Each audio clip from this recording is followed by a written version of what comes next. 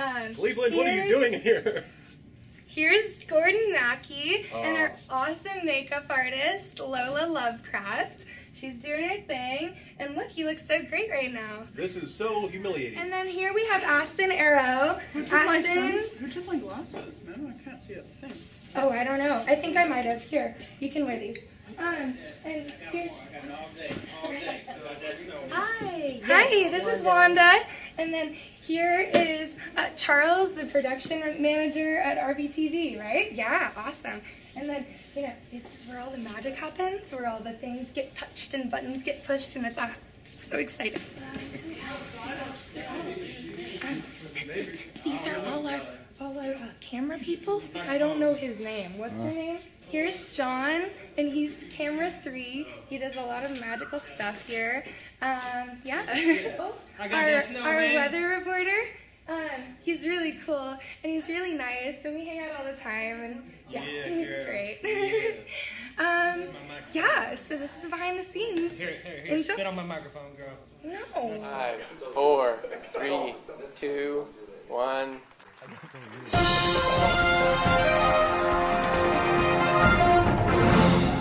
Good evening. I'm your lead anchor, and this is not when I'm supposed to be talking. Good job, a-hole.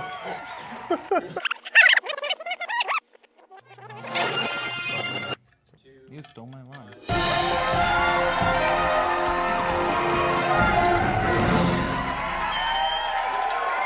Good evening. I'm your lead anchor, A. Scot McGee. And I'm your assistant lead anchor, Gordon Mackey.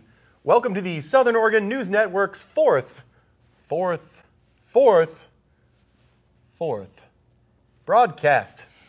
I believe that is our fourth broadcast, is it not? It isn't. I can't count. I also can't see. I forgot my glasses at home today, so everything is a watercolored blur. Reality itself is skewed and warped to my own limited perspective.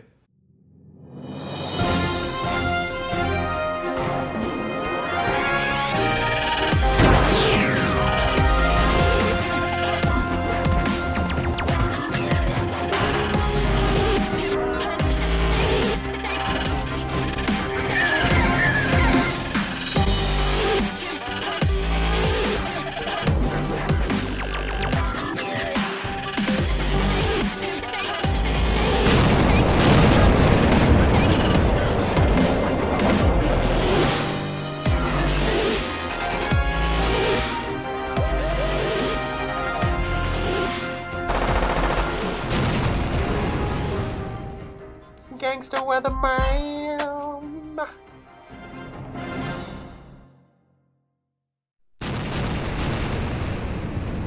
In a country that considers french fries and ketchup both vegetables, how does your kid's school lunch stack up to the Frenchies? In a country that considers the rhubarb a lost idol of a civilization better forgotten, how does your kid's lunch stack up to the rest of the school lunch eating world?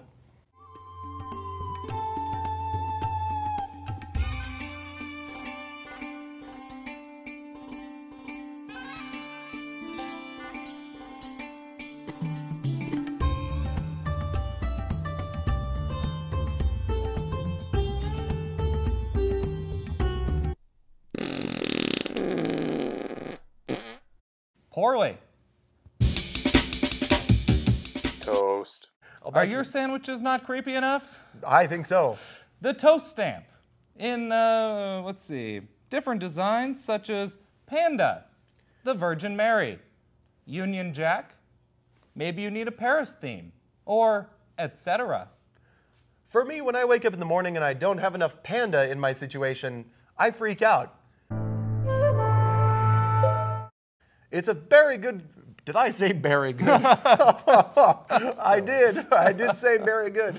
Uh, what was it actually called again? What are we talking about? The Hot Man Trivet. What the hell? Not what it sounds. What is that? Remember, it's the little metal dude that holds up your pot? Oh, yeah. Oh, I kind of like Uh, this one. It's hilarious. I should have seen it on the teleprompter immediately behind me, but the eyes in the back of my head are covered with my jaunty hat. Runny nose yolk separator. I'm gonna let Gordon take this one, cause it's freaking nasty. The runny nose yolk separator, a perfect way to put yourself into a state of contortion. Look at this guy's nasty face. Now it's dripping out your eggs. Guess what? Those eggs are more healthy for you because it's just the whites. Thank goodness he's got a runny nose, and you can live longer. Think about it. An innocent owl who was nesting in a tree in Salem has, quote, attacked several people encroaching on his territory. MSNBC's correspondent Rachel Maddow Mad Owl? recently weighed in. The show jokingly suggested that the city put up a sign. Recently, the city has secured rights to the show's idea for the sign and has now put up 20 of them. The city of Salem is now aware that they're in constant danger from bloodthirsty owls, dropping down on them like weights of doom from the sky above. Rachel Mad Owl. I think I said it right that time. Rachel Mad Owl, Mad Owl. which is funny. Very funny. If you're not laughing, then f you. Are you from Northern Oregon? Move.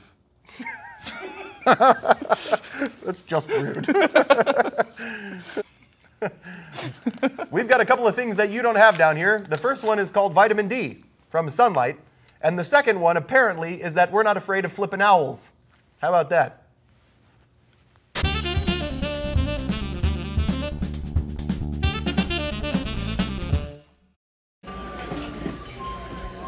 Your primitive human body will no longer be dashed to pieces against the hard rocks of your imagination when you imagine yourself driving a new car made of super steel. Super steel.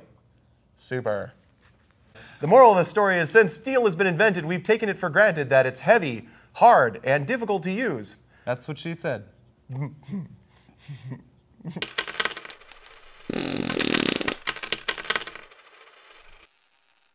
Do you have no need for your poop? Somebody else will take it and pay you. Sound surprising? Well, it is. A nonprofit, thankfully, called um, OpenBiome apparently frees your poo and feed it to other people. Whereas in most countries, this would be called cruel, unscientific, and just plain wrong, it seems to be the cutting edge for a treatment of, uh, I don't know. I don't know what you would treat I, with that. That's just nasty. Yeah. It's a gorgeous day. What the hell you doing sitting on the couch wasting your life away? You ain't got no job. You ain't got shit to do. You might as well go out to the lake and get high today. I mean, wait, can I say that on? No, I don't know if I can say that. You don't get high, and nobody get high.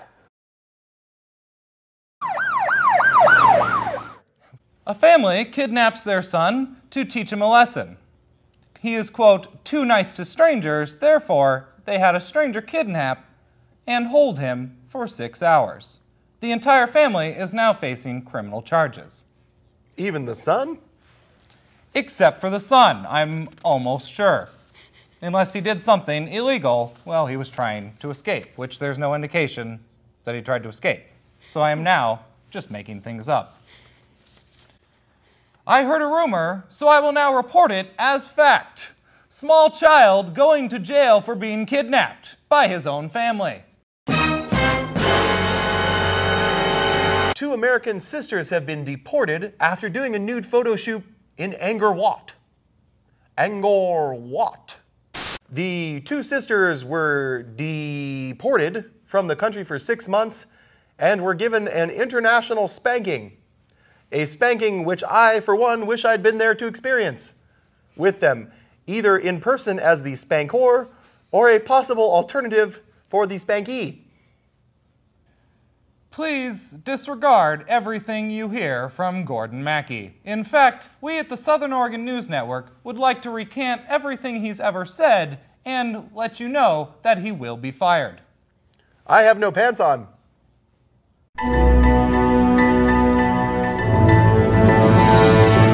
The Southern Oregon News team is very excited and, dare I say, titillated that you've become a regular viewer.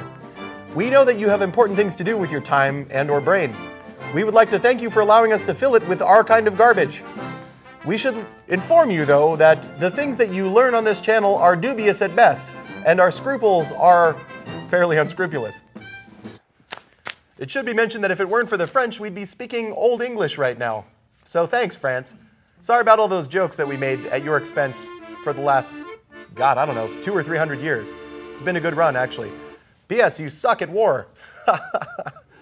If you were interested on what's going on in the world today, stay tuned to A. Scot and Mr. Gordon himself. Will tell you something.